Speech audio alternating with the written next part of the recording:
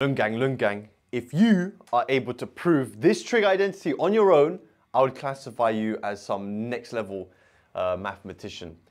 And if you're able to do it on your own after watching this, I would classify you as pretty advanced because you're gonna learn or learn how to use a lot of our double angle and addition rules in this problem, uh, which is very useful. So I recommend that you favorite this video, add it to a playlist as part of your trigonometry revision come exam time. So they want us to prove that this side is equivalent to this side. Now, the whole part about trig proves is you always pick a side and make it look like the other. Okay, now it's not always the case that you should start with the left side. Yeah, you could start with the right side and manipulate it to look like the left. Now, how do you decide which side is the best one to choose? On the left side, there's three separate terms. Here there's one. That's the first reason why I'll choose the left side, because it's easier to bring together more terms into one than it is to break up a single term into multiple. Now the second reason is it's easier to break down larger angles into smaller ones, okay? So I'm going to start with the left side and I'm going to break down the cos 5x into maybe cos 3x and maybe angles x. Now remember, this here is normal maths, so we're not going to be using de Moivre's theorem and all that stuff, only normal maths techniques. And if you are doing further maths, you can try and have a go at doing this, breaking this down using de Moivre's theorem. But I'd be careful because of this x and 3x combined. De Moivre's theorem breaks this down into single angles straight away, right, using the binomial expansion. So I don't think even here, even if you do know the technique, I don't think it's very useful. So we're going to rewrite cos of 5x as cos of 3x plus 2x. So we're going to use the, the addition rules. How do we remember the addition rules? I proved them in the last video. The addition rules for cos goes cos, cos, sine, sine. The way you remember is couscous. So we have cos of 3x, cos of 2x. Cos changes the sign. Sine of 3x, sine 2x. Okay, at least we've got cos of 3x. Remember, we're still thinking about the fact that this is x, right?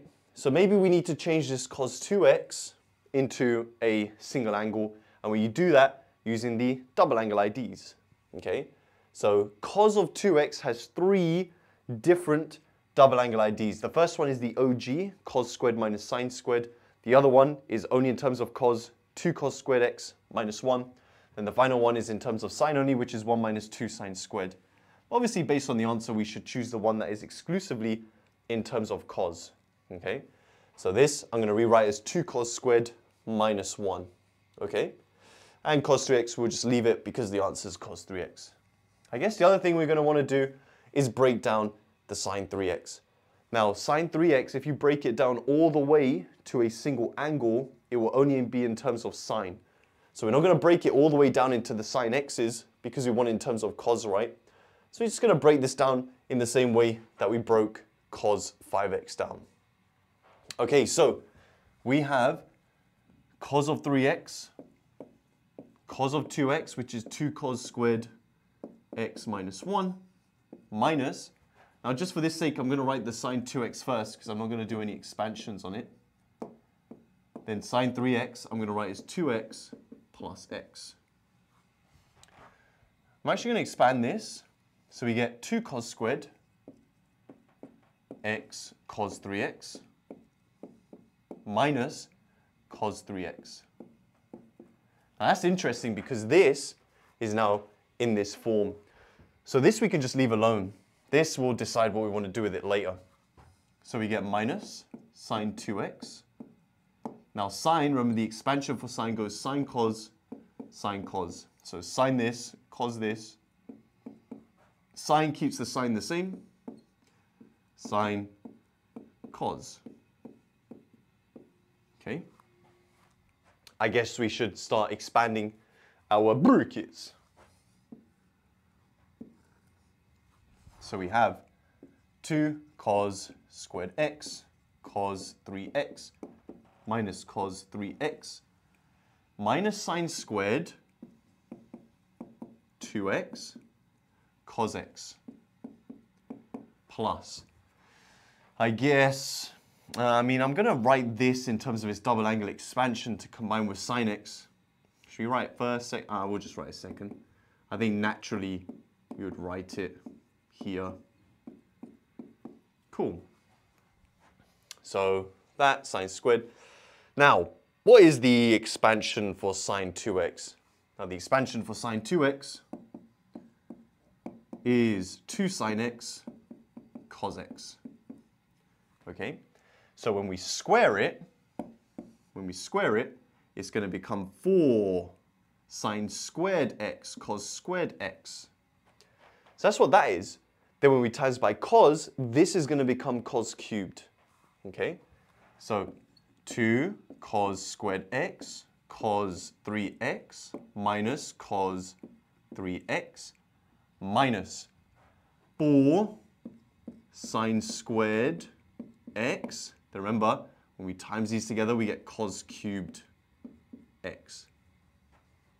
Now remember, this is 2 sine cos, which when we times by sine is going to give me sine squared. So I'm going to get 2, so plus 2 sine squared x cos x.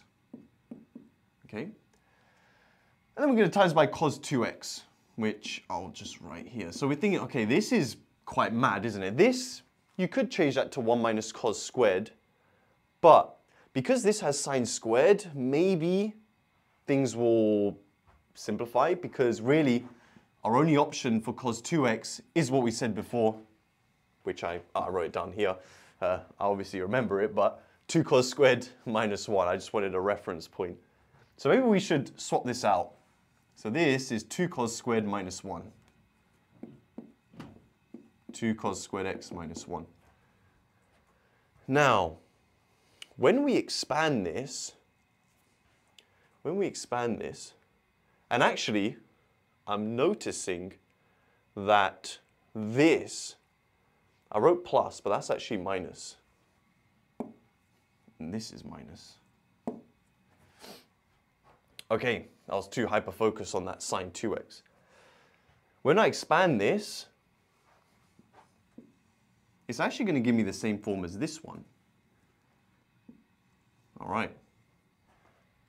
So we have 2 cos squared x cos 3x minus cos 3x minus 4 sine squared x cos cubed x minus 2 times 2 gives me minus 4 sine squared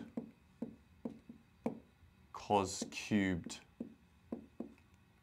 plus 2 sine squared cos x. Okay, so these two combine to make minus 8. All right. Mm, so I guess we just, I'm always debating, should I write all again? I guess so, might.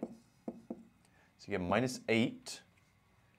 And even then, should we start converting it all in terms of cos? I think so. So these combine to make minus 8.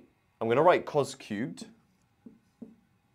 Then sine is 1 minus cos squared. Okay. Then here we have plus 2 cos x. And then sine squared is 1 minus cos squared.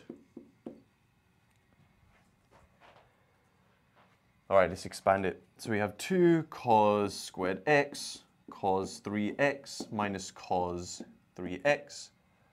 Be very careful, don't make my uh, negative mistake here. So we have minus 8 cos cubed x plus 8 cos to the 5x.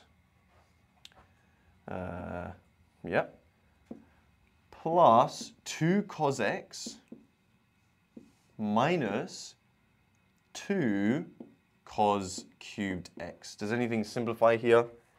Yes. These two simplify. This becomes minus 10. Instead of writing a whole thing, I'm just going to change that to minus 10. And let's get rid of this. Anything else? No. All right, well, remember, this was just cos 5x, okay? That was just this.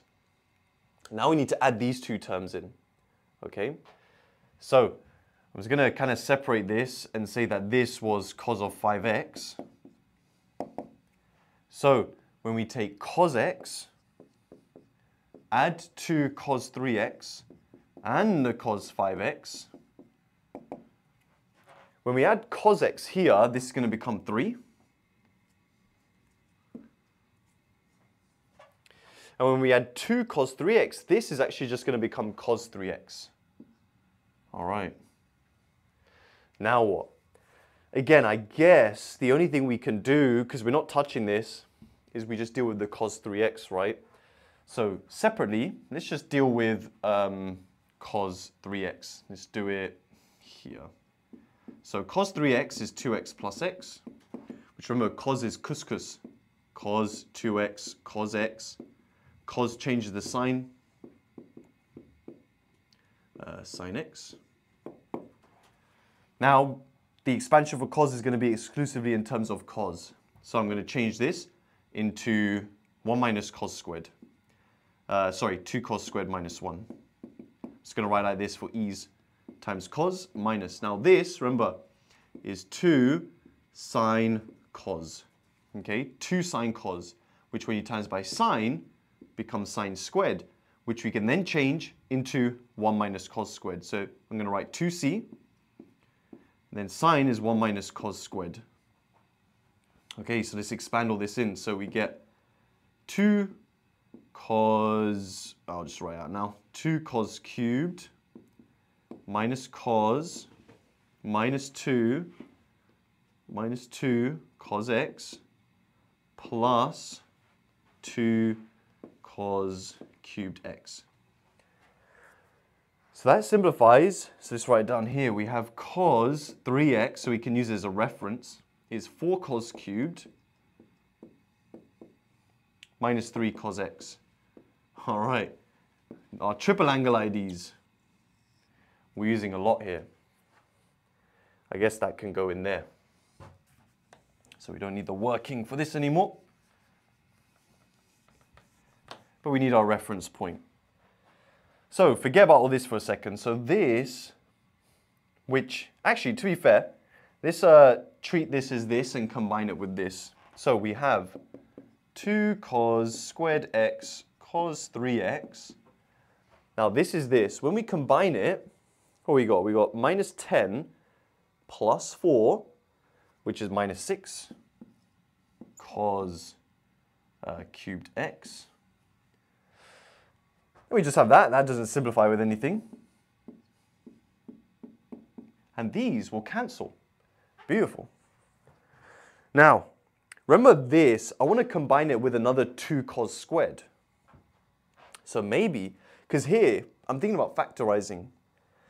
By the most we could factorize is a 2 and a cos cubed.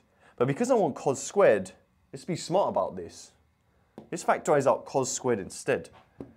So we have 2 cos squared x cos 3x plus 2 cos squared. What would we be left with? I'm actually going to factorize out of this first because that's already positive. So we divide it by 2 is 4.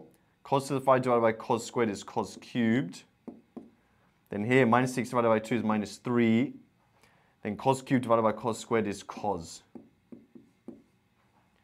Do you notice anything? Boom. That, what's inside the bracket, is cos 3x. So we're left with 2 cos squared x, cos 3x, plus, I don't even know why I rubbed it out, but we get this. And that will give us our final solution. And that is proved. Now, if you have any other suggestions, take a look at this. Absolutely beautiful working out. If you have any other suggestions at each individual stage, where might you have done something differently? Let me know in the comments. Timestamp it so I can have a look at what you might have done differently. But the main thing is that we got there in the end. So if you enjoyed this video, make sure you subscribe, like the video for more content like this. And if you have any other suggestions as to like what questions you might want me to do, let me know. You can even send me uh, questions on Instagram.